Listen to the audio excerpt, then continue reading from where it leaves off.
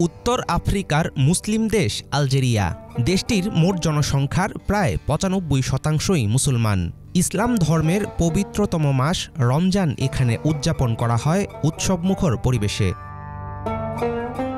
রমজানকে স্বাগত জানাতে দেশটিতে চলে ব্যাপক প্রস্তুতি। অতিথি পরায়ণ আলজেরিয়ানরা ইফতার শুরু করেন খেজুর ও দুধ দিয়ে।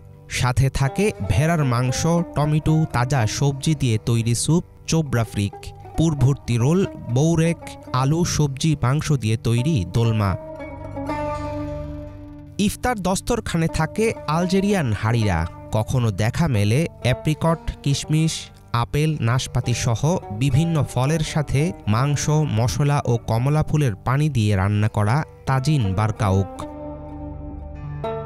আলজেরিয়ায় রমজানের আরেক জনপ্রিয় খাবার জালাবিয়া। চালের গুঁড়া দিয়ে তৈরি পুডিং, হালাওয়া, তুর্ক, এখানকার ইফতারের নিয়মিত আইটেম। মাহাল্লাবা রুটি বাকলাভা কাতায়েফের মতো মিষ্টি জাতীয় খাবার তো থাকেই। সাহরি নাইটস দেশটির জনপ্রিয় রমজান ঐতিহ্য।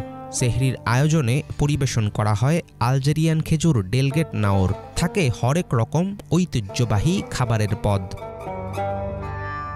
এখানকার মসজিদে মসজিদে ইফতারির পাশাপাশি থাকে সাহরির ব্যবস্থা। রমজানে মসজিদগুলো খোলা থাকে গভীর রাত পর্যন্ত। মাহে রমজানে প্রকাশ্যে খাওয়া দাওয়া অপরাধ মনে করেন আলজেরিয়ান মুসলমানরা। ভূমধ্য সাগরের তীরবর্তী দেশ আলজেরিয়ায় ইসলাম আসে সপ্তম শতকের শেষ ভাগে। মাহে রমজানে আত্মশুদ্ধি আর আল্লাহর নৈকট্য লাভের চেষ্টায় মশগুল থাকেন দেশটির মুসলমানরা।